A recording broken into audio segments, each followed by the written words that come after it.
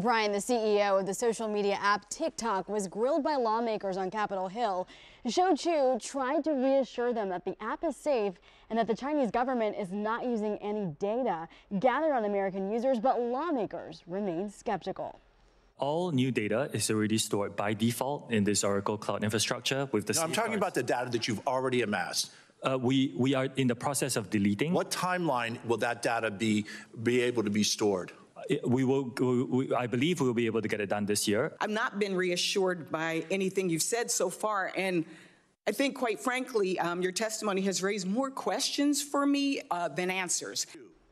That hearing before the House Energy and Commerce Committee focused on concerns about the app's data privacy, protections for children, and the ties to the Chinese Communist Party. President Joe Biden is also looking for ways to crack down, including an altogether ban of the app. Right now, several states have banned TikTok on state owned devices, and Chew says the app created a U.S. based firewall to protect users. Our commitment is to move the data in, into the United States to be stored on American soil by an American company, overseen by American personnel. So the risk will be similar to any government going to an American company asking for data. Trying to sway lawmakers. Now, critics of the ban argue their small businesses would close without the exposure that they get from that app. Sarah? Okay, Christy.